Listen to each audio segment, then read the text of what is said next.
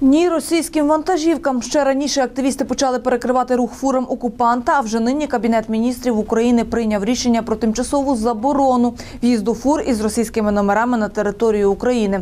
Все тому, що країна-агресор безпідставно зупинила рух українських вантажівок своєю територією. Нещодавно блокувати проїзд для окупантів почали і у Львові. Так поблизу села Солонка з'явився блокпост. Чи доводилося активістам зупиняти автівки із колорадськими стрічками, знають наші журналісти.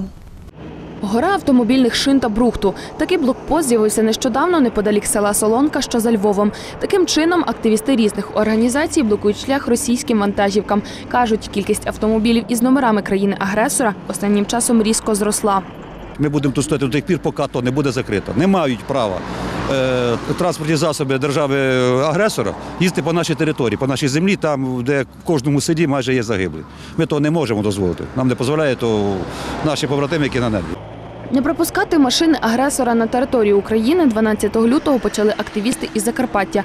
А все тому, що на початку місяця Польща заборонила в'їзд російських фур на свою територію. Тож вони почали пересуватись через Словаччину і Угорщину, при цьому перетинаючи кордон з нашою державою. Сьогодні ж транзит російських вантажівок заборонила й Україна, проте тимчасово.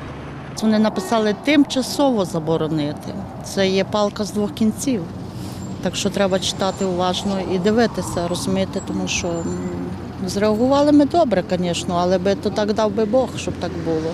Тому що коли вчора їдуть з георгівськими стрічками, Активісти запевняють, блокпост не зникне, допоки рух російських вантажівок території України не заборонять взагалі.